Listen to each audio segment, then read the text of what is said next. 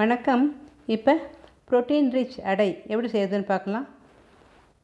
புரத சத்து மிகுந்த இந்த அடை குழந்தைகளுக்கு ரொம்ப நல்லது. நீங்கள் செஞ்சு கொடுக்கலாம். எப்படி செய்யுதுன்னு பார்க்கலாம் வாங்க. இப்போ ஒரு டம்ளர் ப்ரௌன் ரைஸ் எடுத்துக்கலாம். ஒரு டம்ளர் புழுங்கலரிசி எடுத்துக்கலாம். அரை டம்ளர் துவரம்பருப்பு சேர்த்துக்கலாம். அரை டம்ளர் கடலைப்பருப்பு எடுத்துக்கலாம்.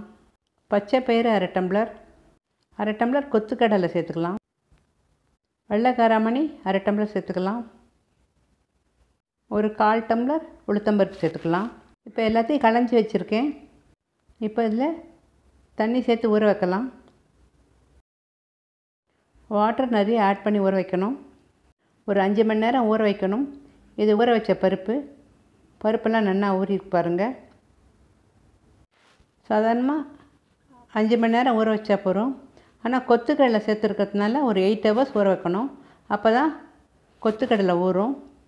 இப்போ மிக்சியில் போட்டு கொஞ்சம் நர நரப்பாக அரைச்சிக்கலாம்.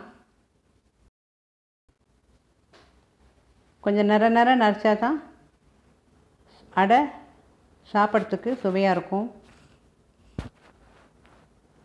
இப்போ ஒரு எட்டு மிளகாய் சேர்த்து அரைச்சிக்கலாம்.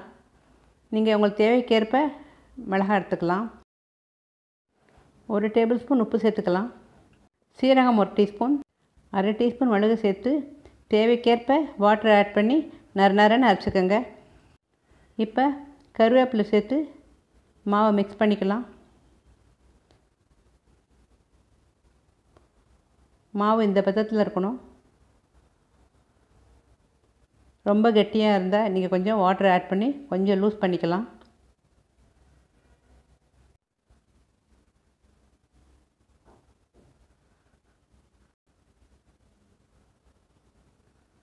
இப்போ நம்ம அடையை வாத்துடலாம்.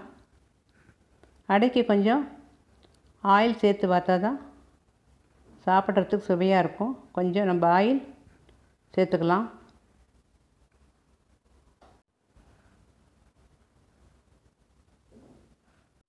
அடை வேகிறதுக்கு கொஞ்சம் ஹீட் தேவை. நம்ம மீடியம் ஃப்ளேமில் வச்சுக்கலாம். இப்போ அடையை திருப்பி போட்டு ரெண்டு பக்கம் ஈவனாக வேக வச்சுக்கலாம். கொஞ்சம் ஆயில் ஆட் பண்ணிக்கலாம்.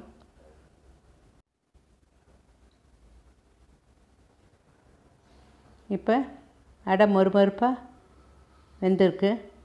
இப்போ அடையை எடுத்துடலாம். இப்போ அடைக்கு தொட்டுக்கிறதுக்கு ஒரு மிளகாப்பொடி செய்யலாம். இந்த மிளகாப்பொடி வர மிளகாப்பொடின்னு சொல்லுவாங்க பெருங்காய மிளகாப்பொடின்னு சொல்லுவாங்க. எப்படி செய்யுதுன்னு பார்க்கலாம். ஏழு எட்டு காஞ்ச மிளகா எடுத்துக்கலாம்.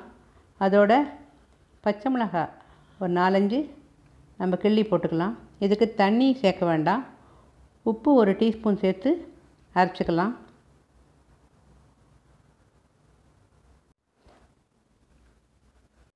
இது கொஞ்சம் பெருங்காயம் சேர்த்துக்கலாம். இதை பெருங்காய மிளகா அப்படின்னு கூட சொல்லுவாங்க. அரைச்ச விழுது இது மாதிரி இருக்கணும். இதுக்கு கொஞ்சம் எண்ணெய் சேர்த்து நம்ம தொட்டுக்கலாம். இப்போ அடைக்கு அரைச்ச மிளகாப்பொடி கொஞ்சம் சேர்த்துக்கலாம். கொஞ்சம் ஆயில் சேர்த்துக்கலாம். கொஞ்சம் பொடித்த வெல்லம் கொஞ்சம் வெண்ணெய். இந்த மூணு காம்பினேஷனோட இந்த அடையை சாப்பிட்டிங்கன்னா அருமையாக இருக்கும். செஞ்சு பாருங்கள் செஞ்சு பார்த்துட்டு கமெண்ட் சொல்லுங்கள் நன்றி. வணக்கம்.